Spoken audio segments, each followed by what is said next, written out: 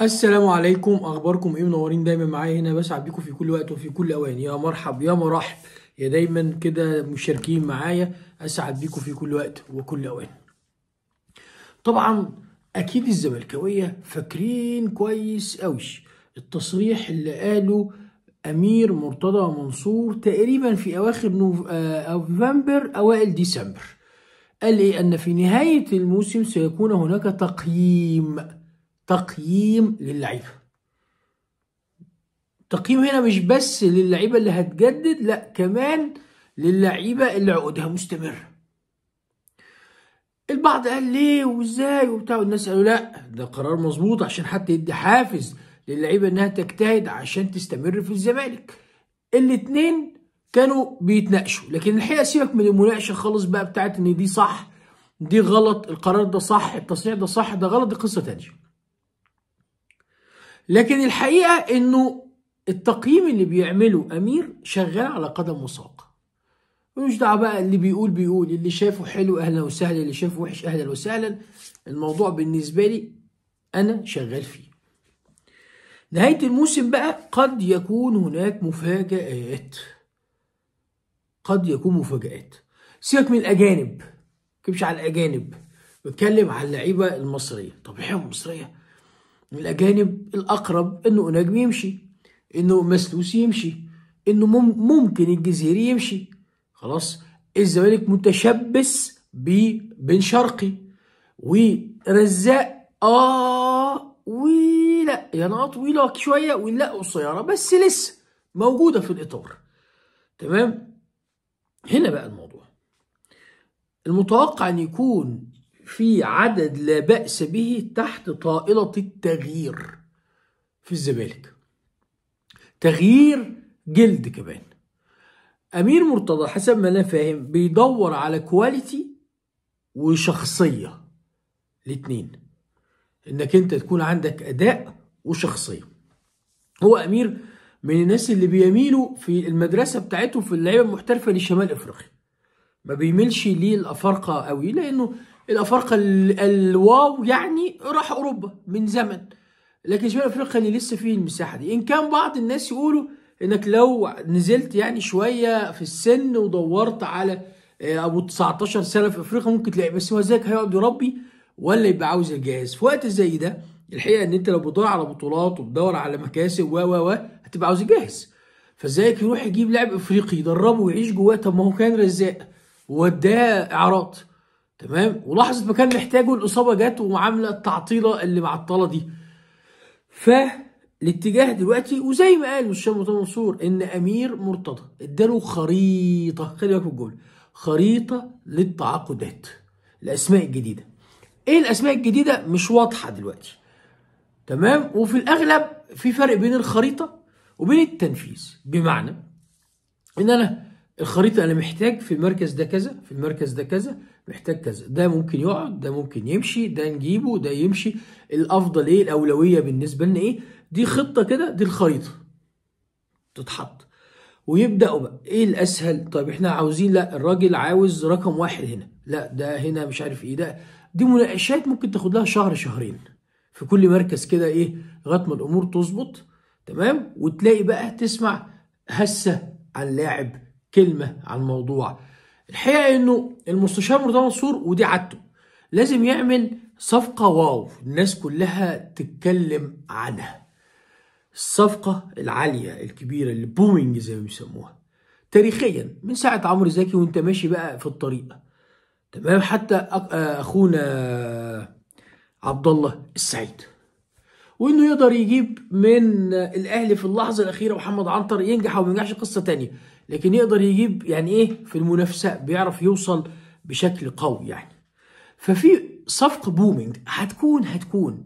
أنا بقول لكم يعني بمعرفتي بتفكير المستشار مرتضى هيجيب صفقة booming هنا اسم ونجومية يعني وسن صغير مش هيروح يجيب أبو خ- 30 سنة 32 لا لا لا. وهو أنا وجهة نظري إنه لو جاب ال booming ده من مصر من إطار الدوري المصري فال booming ده الوحيد هو رمضان صبحي. هل المستشار مرتضى منصور ممكن يتجه تفكيره للموضوع ده؟ الله أعلم. آه الزمالك محتاجه ولا مش محتاجه؟ دي قصة تانية. لكن في صفقة بومينج أكيد. وطالما المستشار مرتضى منصور قال بقى إن في خريطة وفي أسماء فممكن فعلا نلاقي إيه؟ أسماء قوية جاية. تمام؟ لكن اللي أنا متأكد منه أن التقييم هيكون متقسم. إن في لعيبة استغناء. ولعيبة استمرار ولعيبة إعارة. إعارة. زي كرة القدم كده فيها إيه؟ فوز خسارة تعادل. الفوز يعني استمرارك الخسارة يعني خروجك التعادل يعني الإعارة. الثلاث مساحات الأفكار دي هي اللي شغاله التقييم هيبقى طول الوقت اللعيبة. اللي هتمشي إزيك عاوز يكسب من وراها مش هيستغنى مجانا يعني لا هيبحث عن إنه يكسب من وراها برضه فلوس تساعد في إنه يجيب صفقة هنا يدفع مقدم هنا يحل هنا إيه؟ تمام؟ والإعارات هتبقى بفلوس. مين بقى الاعارات الله اعلى وأعلم. هنشوف بقى في نهاية الإيه؟ الموسم. لكن كتير من الناس بيؤكدوا إن ممكن حتى ولو أو الحاجة الوحيدة اللي تمنع هذا الأمر إن الفريق ياخد الدوري وياخد أفريقيا. ساعتها بقى التقييم بقى واضح تماما. لا جدال فيه. نجاح. واستمرار. تدعيم بقى. ثلاثة أربعة حاجات كده في العادي. تمام؟ لكن ممكن لو لا قدر الله موسم الزمالك ما بقاش كامل النجاح ممكن يحصل غربلة. غربلة. عارفين الغربال اللي بتعمل كده ده؟ تنزل الحاجة هو بالظبط كده. ده ياخدنا لموضوع كمان. وهو باتشيكو. إيه قصة باتشيكو؟ كان الكابتن حسين لبيب ولجنته مشوا في الموضوع شوية واتعاملوا مفاوضات وبتاع لكن ما إيه ما انتهتش المفاوضات على أكمل وجه. الزمالك اتحكم عليه بغرامه 450 ألف يورو. وكان يعني الأمور مقبولة شوية من أخونا باتشيكو لكن الزمالك استأنف على 450 فقام باتشيكو مستأنف على 450 وطالب مليون و700 ألف يورو الضعف يعني. ثلاث أضعاف. مليون سبعمية الف يورو. يوم 28 مارس القادم هو الحكم في في في جلسة الاستئناف دي. لا إما لصالح الزمالك ويتلغي خالص العقوبة إن كنت أشك أو لصالح باتشيكو. هنا صالح باتشيكو ممكن يبقوا حاجتين. لا إما يعتمدوا 450 ألف يورو أو يعتمدوا مليون 750 ألف يورو. إيه اللي هيجرى؟ إيه اللي هيحصل؟ إيه الموضوع؟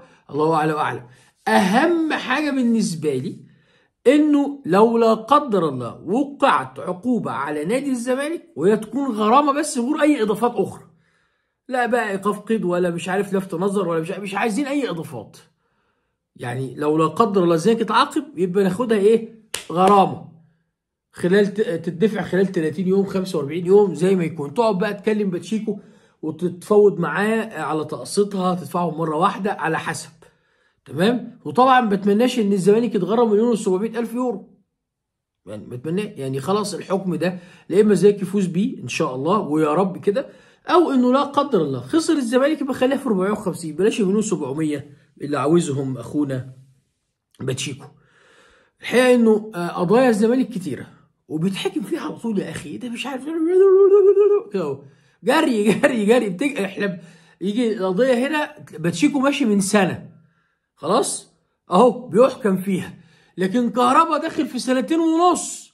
ونروح ننام ما نقومش. الله في إيه؟ الحاجات دي غريبة جدا. بالمناسبة ده يثير الاستغراب جدا. إن أنت هو إيه الحكاية؟ قلت لكم امبارح أورقة المحاكم دي بالمزاج يعني ولا إيه؟ ندخل ندخل جيب سرداب مثلا في المحكمة الرياضية تخص كهرباء. لكن نقعد ندخل في أوضة واسعة وكبيرة قوي في كل القضايا التانية جروس على باتشيكو على مش عارف آآ آآ الراجل أكاديمية الكاميرون اللي مش سلس والدنيا سريعة سريعة سريعة سريعة. تيجي عند القضية بقى زي خلاص هو الأقرب هو الفوز هو هو. تلاقي ننام. الحاجة الوحيدة اللي زيك فاز فيها كانت قضية حمدي النجاز. المحكمة الرياضية اللي لغت بتاع بس كان الزمالك اتعاقد معاه واداله مقدم. تمام؟ ف ايا كان لكن على الأقل 300 ألف دولار ولا 200 ألف دولار اللي اتدفعوا ما أعرفش بالظبط كام ممكن أكتر ممكن أقل الله أعلم. أرحب من الفلوس اللي كان مليون ونص لو كانت حكم. لكن اللي حصل لكن قضايا الزمالك في في المحاكم الرياضية اللي ضده تتحكم فيها توربيني. لكن اللي للزمالك سلحفه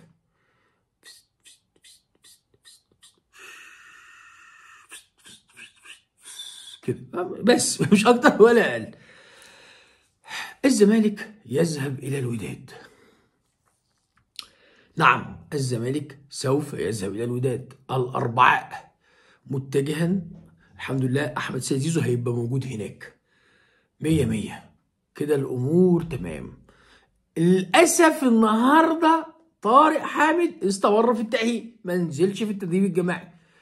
ولسه ما طلعتش القائمه النهائية بتاعه السفر الأقرب إن طارق يسافر. وممكن ما يسافرش. الله أعلى وأعلم.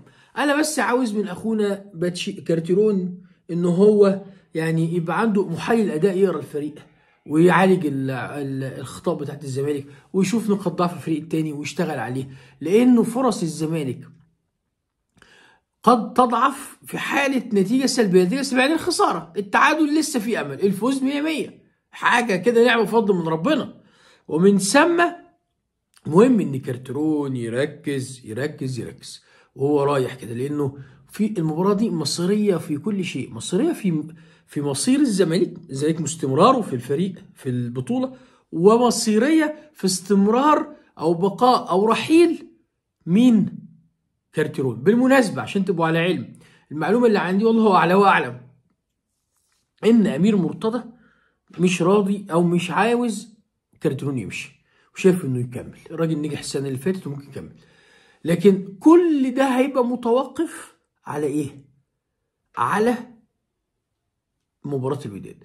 المصري مرتضى قال له اتقي ربنا أنا لو عايز أمشيك كنت مشيتك من أول يوم فركز وبتاع وبطل إيه؟ شغل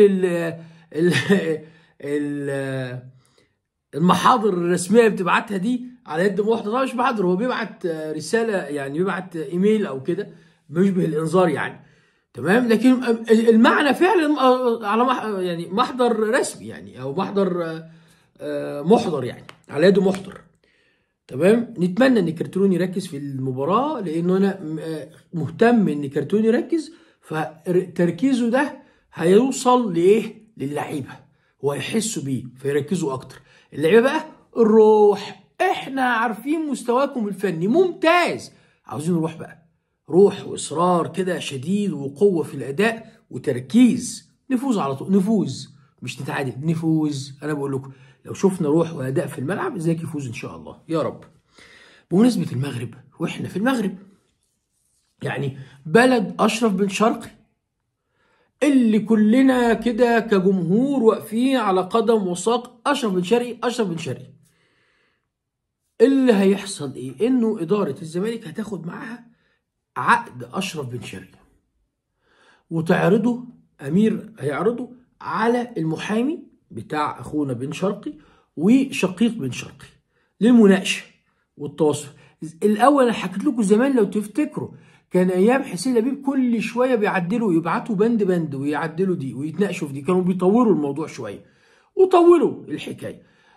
المره دي اهو العقد مكتوب يبصوا عليه it's okay موافقين قاعدين طب المقدم إيه مش عارفين نخلص اذا عقود بن شرقي يصطحبها الزمالك معه إلى المغرب. بس عاوز أقول لكم حاجة. قصة يعني كده تخص فرجاني قبل ما هتكلم عن فرجاني برضو دلوقتي بس في الحتة بتاعت التجديد دي. في نفس المباراة الثالثه في المجموعات السنة اللي فاتت كان قصاد الترجي. في تونس برضو. بلد مين؟ فرجاني ساسي. اللواء عماد عبد العزيز هو اللي راح رئيسا للبعثه كان يرافقه إبراهيم عبد الله والأستاذ طارق حشيش. راحوا هم الثلاثه وبدا يتفاوضوا مع مش فاكر اسمه ال ال وكيل مهند عون. وكيل فرجاني ساسي. وبرضه بتاع وكان معاهم عقد بقيمته مليون 650 ألف يورو وجاهز للتوقيع. ما رضوش يوقعوا. برضه قعدوا يمطلوا ويقولوا لا إحنا عايزين أصل مش عارف إيه وبتاع لأنهم كانوا إيه؟ موقعين. هنا بالظبط اللي هنشوفه مع بن شرقي. بن شرقي هيماطل ولا اللي أنت عاوز كام؟ أنا عاوز خمسة جنيه. أوكي ها؟ يلا يلا. لكن لو ماطل بعد آه لا يبقى كده في حاجة. أن هناك إنه. بس. بمناسبة فرجاني ساسي كلام كتير بل هو كلام قوي وخصوصا خارج من الصحافة التونسية والقطرية. إن فرجاني ساسي تم إبلاغه من فريق الدحيل أنه ليس له مكان ليس له مكان في الموسم الجديد معهم وابحث عن فريق. الصحف التونسية بتقول لنا أن الفريق الأقرب لتواجد فرجاني ساسي في الموسم الجديد هو الزمالك. فهل فعلا الزمالك بيفكر فيه؟ في إشارات خرجت كتير جدا جدا من نادي الزمالك بتقول إن في التفكير في عودة فرجاني ساسي. حلو. أنا قلت وما زلت عند رأيي اللي يسيب الزمالك ما يرجعش. لكن لو المدير الفني بقى مصمم وشايف انه مفيد ومش عارفين يجيبوا حد تاني وان فرجاني اللي بقى عنده 30 سنة هيقدر يؤدي الدور المطلوب منه تمام. لكن بشروط الزمالك. والزمالك يعوض الفلوس اللي اتدفعت. يعني إذا كان بيديله مليون و400 أو مليون و500 ومليون 600 السنة اللي فاتت الثلاث سنين اللي فاتوا لا. إحنا أخرنا مليون. أخرنا مليون. لأنه هو جاي من عدم نجاح مش من نجاح. ومن ثم من حق الزمالك بقى. طالما إن الراجل بقى تقريبا مستغنى عنه مش موجود في فريق ف وهيمشي ببلاش اللي هو ما ياخدش فلوس يعني بالتراضي واتكل على الله شوف لك فريق وما لا انت تاخد ولا إحنا ناخد. تمام؟ فيبقى الزمالك يفرض شروطه. أعتقد إن ده اللي هيحصل.